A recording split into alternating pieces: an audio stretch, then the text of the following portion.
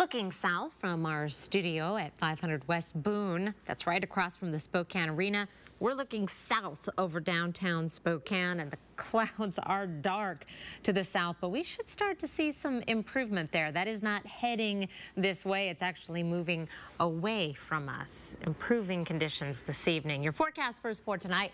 Skies become partly cloudy, 53 degrees for an overnight low. Could still see an isolated shower or two right around Spokane this evening before we dry out later tonight.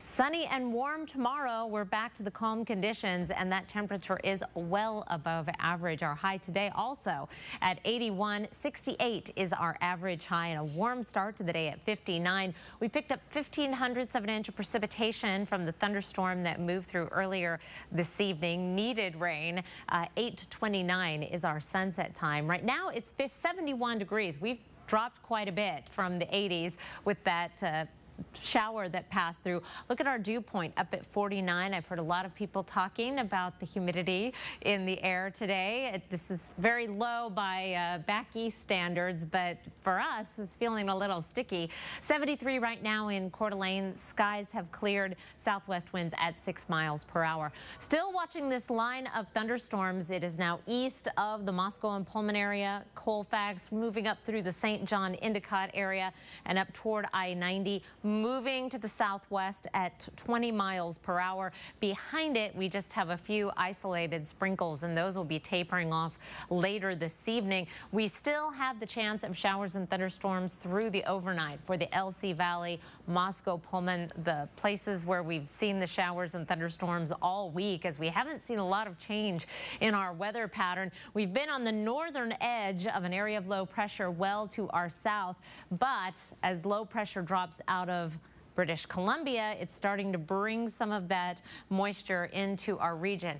Tomorrow, however, we will be dominated by more of a northeasterly flow, and that is going to keep the skies clear. The showers and thunderstorms south and east of Spokane before we bring that moisture up again heading into Sunday and Monday. A complicated weather pattern that I'll be happy to say goodbye to here, hopefully next week.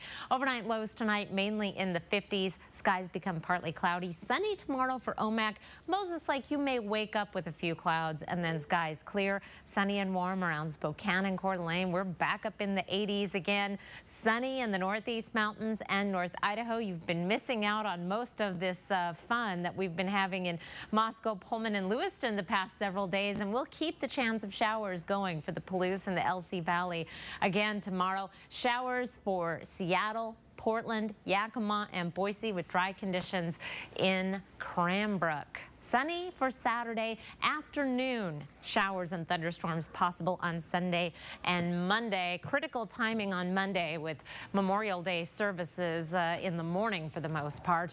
And then an unsettled week next week. Mm. Temperatures in the 70s, overnight lows in the 50s. So tomorrow's a nice day of the weekend. Tomorrow is the nicest day, mm -hmm. but there'll still be periods of nice weather through Sunday and Monday, too. All right, we'll take it. Sounds nice. Okay. Thanks a lot, Kris. Still ahead, our Head of the Class special report continues. What classes this year's valedictorian